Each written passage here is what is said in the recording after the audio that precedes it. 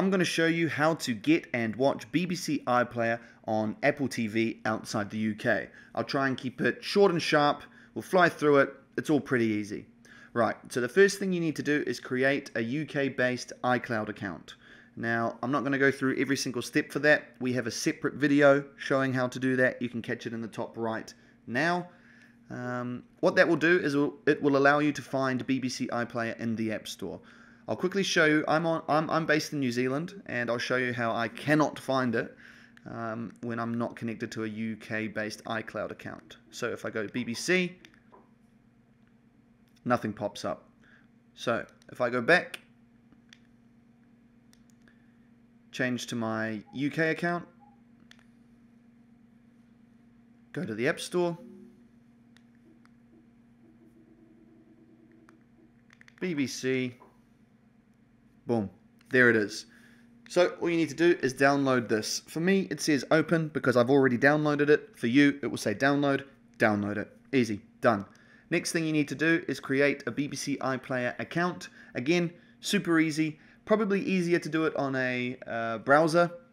We've actually got a video for that as well. You can check it up in the top right. Take less than two minutes. So now you've got a UK iCloud account. You've got a BBC iPlayer account go into BBC iPlayer and you won't be able to play anything. That's because BBC iPlayer is only available for customers in the UK. Uh, so if you're outside the UK, it's going to block your internet connection. I'll quickly show you what that looks like. So here I am on BBC iPlayer. Try and open Mayfair Witches, whatever this is, and click play. And I get an error saying something went wrong.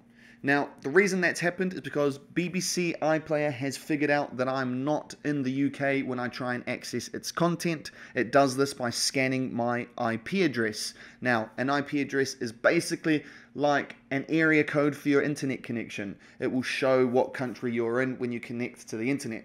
I'm in New Zealand, so my IP address shows I'm in New Zealand. BBC iPlayer realizes that I'm not in the UK and it blocks my connection. So, how do you change that? I'm going to show you right now. So the easiest way to change your IP address is with a VPN. Now, up until recently, Apple TV did not support VPNs. However, ExpressVPN has just released a native app for Apple TV. There it is there. If you go to the App Store and search for ExpressVPN, this is the easiest way to do it. There it is there download that. Now, ExpressVPN is a paid VPN. We actually have uh, a discount code that will give you three months of your subscription for free. The link is in the description below. Um, this will allow you to watch any streaming service wherever you are, whether it be, look, you can see what I've got. I've got Hulu, BBC iPlayer, All 4. It's very, very good service. I could not recommend it enough. Anyway, you'll need to make an ExpressVPN account, um, sign up for it, and then download it on Apple TV. Um, once you've done that, open ExpressVPN and connect to a UK based server. So, Europe, UK. I like to use maybe a little what I would think is less popular. Um, London will obviously be extremely popular. Wembley, maybe, maybe not. Maybe not. Uh, Anyway, so I'm connected to Wembley. I'm connected to a UK server. What that's done is it's made my IP address look like it's in the UK. So now it looks like I'm connecting to the internet from within the UK.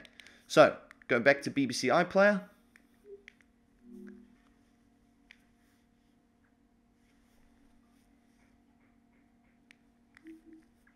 Try and watch Mayfair Witches again. And this time,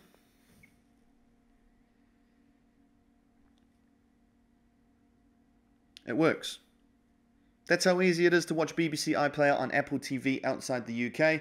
If you have any questions or anything like that, we have a more in-depth uh, article linked in the description below and make sure you click on that link and get three months of your ExpressVPN subscription for free. For free.